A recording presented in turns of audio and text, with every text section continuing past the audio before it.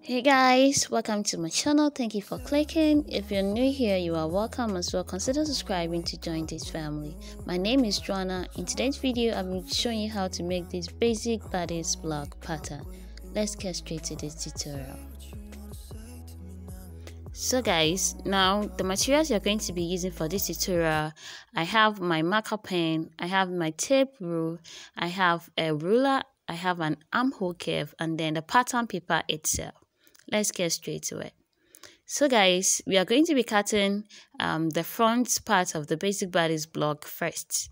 Now, anytime you are going to cut this, consider that of your biggest measurement. It can be your bust measurement or your hip measurement. So the circumference which is bigger, consider that for the fabric or your pattern paper. So in this case, my hip measurement is the biggest of all of that of my measurement. So I'm going to divide my hip measurements by 4. Then add extra seam allowance or extra inches for you to able to cut it out and then add your seam allowances. So I'm assuming that this, my pattern paper is on fold. I'm trying to manage this. Now I'm going to create my starting point. So I came down by one inch like this and then straight it out. So that is going to be my starting point or my shoulder line. Okay, now we are going to take that of our vertical measurements. That is, if the person is standing, we are going to be taking that. So I went down 10 inches for my bust, my bust point, 16 inches for my waistline, and I'll count 8 inches away from the 16 inches to get 24 inches for my hip line. It can be 25 depending on the person you are sewing for. And then this is a basic or somehow the standard measurement for the basic bodice block. So this may differ according to the person you are cutting for or you are sewing for. So I went ahead and repeated the same measurements on the pattern and then straight it out.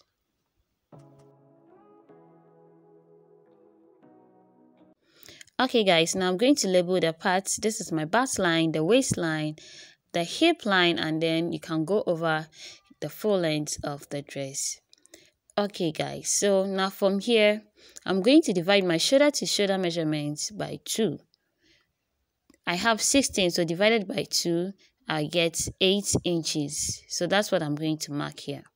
So guys, the next thing I'm going to do is to get that of my chest line to be able to get my armhole. So now how to get this is to divide your bust measurement by 6 and then add one and a half inches to it. So I had 8 inches after doing this.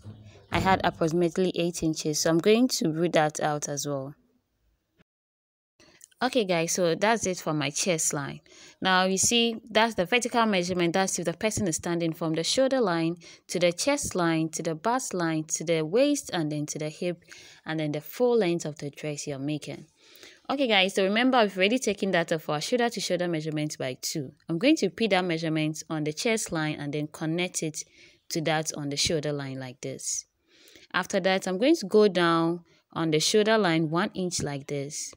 After that, I'm going to find that of my neckline, which I'm going to mark 3 inches, which I'm going to mark 3 inches. You can decide how wide you want it to be and how long you want the depth to be. So I went 3 inches for the width and then 3 inches for the depth. So I went ahead to use my curve ruler to connect it. I'm also going to go ahead to connect that of the shoulder, um, the one inch we came down from the shoulder line to the neckline to get our shoulder slant. I hope this is understandable. Now I'm going to find the midpoint of this line and then that of the chest line. Then I'll come in by half inch. You can go in as, as much as three quarter of an inch or one and a half centimeter. It's optional. Okay guys, so the next thing that I'm going to do is to divide my bust measurement by 4 just divide my bust measurement by 4 and then I'm going to add half inch to it for easiness on the chest line to get that of our armhole curve. So that's exactly what I'm going to do. So that's my bust measurement divided by 4 that I just marked. So I'm going to add a half inch that I said for easiness on it as well. I'll add half inch for easiness like this to it. And then I'm going to go ahead and then connect this three point together to get your armhole curve like so so this is it for the front part of the basic bodice block armhole so now i'm going to get that of my nipple to nipple measurement that is measuring one nipple to the other nipple and whatever you have divide it by two. So that is what i'm going to divide and then mark that on my waistline. I'm going to mark that also on my hip line and then on my bust line I'll go ahead and then straighten that out.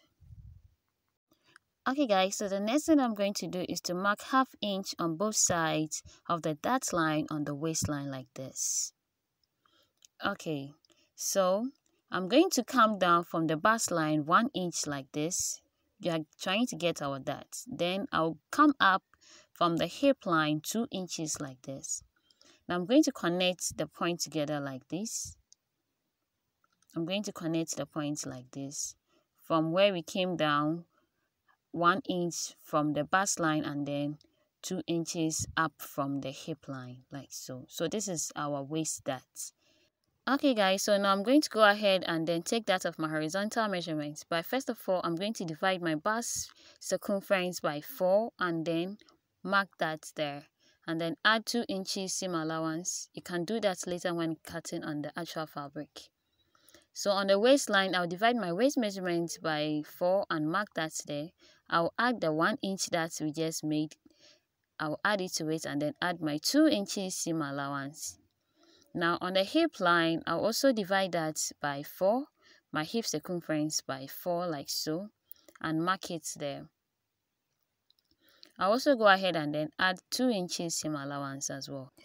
Okay guys, so let me remind you that this is just a basic bodice block for you to uh, make your dresses. So this is just the basic, whatever you intend to do with this is absolutely up to you. So that's it. I'm going to go ahead and then connect the lines together. I'm going to go ahead and then connect the point together. So like I said, um, from the hip line, how long you want your dress to be is it's up to you so i just went down on the full um i just went down with the same measurements on the hip line to the full length of the dress so when you're making your own dress or whatever you're going to use this block for you decide later on okay guys so after reaching here um we are going to be finding that of our side dart or what people usually call it bust dart so I'm going to find the midpoint of my chest line and then my waistline. I'm going to divide that by 2 like this. I'll find the midpoint and then connect it to the bust point like this. Connect it to the bust point where we mark the dots. So I'm going to mark half inch on both sides of this new line like this. What we are going to do next is to go in one inch like this from the bust point like so and then I'm going to connect the lines together to that point. Okay guys, now the creation of the um the side or the bust dart actually enables your boots to sit in well in your dress when you add it to it. Okay, so now that you've taken that of the side dart, you're going to place it down there. Remember, if you sew it, your front bodice is going to be shortened by one inch. So we are going to place, I mean, replace that one inch at the down part of um, your dress. Assuming this is a half block, like it ends at your waistline, then you have to add it to that of your waistline. I mean, the one inch that to that of your waistline. So in this case, we are start we are stopping at that of our hip line. So I'm going to go down from the hip line one inch like this. So we are placing the dart at the hip line. Using my curve ruler, I'm going to connect it to the center like this. I'm going to connect it like this and then straight out the seam allowance like so. So this is basically it.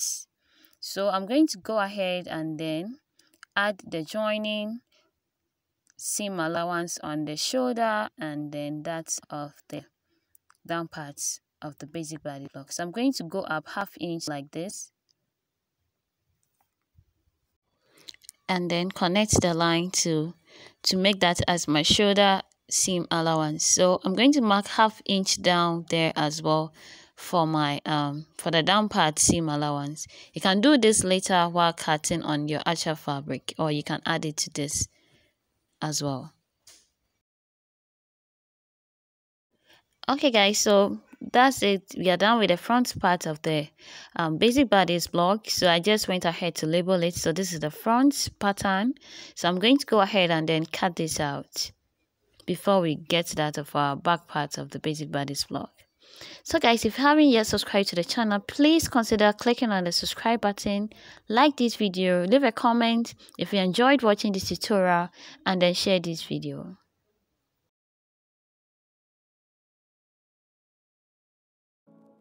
So guys, this is my front basic bodice block. So let's move to that of the back part of this basic bodice block. So I came down by one inch for my shoulder line and then also went ahead to mark that of my zipper line. I I went in by one and a half inches for my zipper line. So I went ahead to label that. So that's the zipper allowance okay guys so after this i'm going to go ahead and then take that of my vertical measurements. Like i said the zipper allowance is one and a half inches. So starting from the shoulder line i'm going to go down and then take that of my bust my waist and then my hip measurements just as we did for the front part sorry the front part of the uh, body. So mark that and then straight that out so guys, I'll go ahead and then take that of my horizontal and then vertical measurement. This is almost the same as that of the front, but it's just a slight difference. So I'm going to take all the vertical and then the horizontal measurements and then show you the difference in this. So let me go ahead and then do this. Okay, so the difference is just going to be that of the armhole and then that of the, the zipper allowance, the neckline and few things. So the next thing I'm going to do is to mark that of my neckline weight, which is 3 inches. And then the depth also depends on what you want. So I went out by 1.5 inches and then used my curve ruler to give it a round neck shape like this. This is optional, how, whatever you want. So I went down from the shoulder line 1 inch and then coordinated it to that of the neckline. Like I said, this is similar to the front but it's few changes. Now I find a midpoint of this line just as we did for that. So instead of um, going in half inch for the armhole curve, we are not going to go in for the back bodice. We are just going to connect it like this. We are just going to connect this like this. So the only difference is that the front bodice armhole is deeper than the back armhole. So guys, the next thing I'm going to do is to mark that of my nipple to nipple measurement divided by 2. So I'll mark that on the waistline, on the bust line, and then on the hip line. Then I'll come up and then join the lines together like this. Okay guys, so just as we did for that of the front part, I'll go ahead and mark half inch on both sides on the waistline of the dart and then I'll come up on the hip line 2 inches then connect them like this. From the bust points i'll connect the dots and then connect it to the two inches that we came up from the hip line like this. So this is the dart for the back part. So like i said this is simple. It's just like the front but it's just a slight difference. So i went ahead to divide my bust measurement by four and then added my two inches seam allowance. So on my waistline i divided it by four and marked that plus my one inch dart and then the two inches seam allowance I repeat the hip measurement by dividing it by 4 and then add my 2 inches seam allowance just like that of the front bodice. So that's this. I went ahead to connect the point together. Okay guys, so this is it for the um the back part. I forgot to add the shoulder seam allowance and then the down part seam allowance. So so guys you can go ahead and then add that when you're cutting it on your actual fabric or you can just add it to it just as I added it to it on the front bodice. So I'm just cutting out the back bodice pattern. So this is it. This is simple as you can see. If you understood this video please give this video a thumbs up. So I went ahead to connect the neckline to that of the zipper line to be able to cut it out like so this is simple. Thank you for watching. Stay tuned for more videos. Subscribe and share this video to your friends and then your family. See you on my next video and then keep being amazing wherever you are. Peace out. Bye.